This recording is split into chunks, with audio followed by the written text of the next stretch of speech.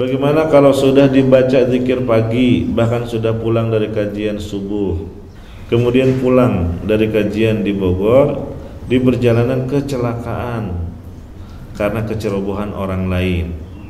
Yang saya tanyakan, apakah ini yang disebut takdir yang tak dapat ditolak? Kalau dikatakan apakah ini yang disebut dengan takdir? Iya jelas, takdir anda mengalami kecelakaan sudah Allah tetapkan sejak 50 ribu tahun sebelum Allah menciptakan langit dan bumi.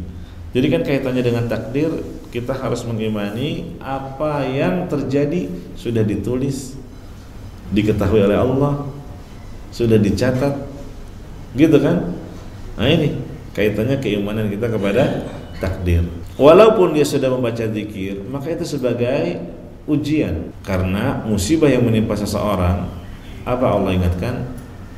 Ma asabakum bi musibatin kasabat aydikum. Musibah apa pun yang menimpa dirimu itu karena kesalahan yang kau perbuat. Ya jadi yang dilihat jangan kamu aku sudah zikir tapi masih mengalami kecelakaan. Barangkali engkau melakukan satu ketaatan tapi di sisi lain engkau melakukan kesalahan yang lainnya yang tidak kau sadari Makanya jangan pernah merasa ujub dengan ketaatan yang kita kerjakan.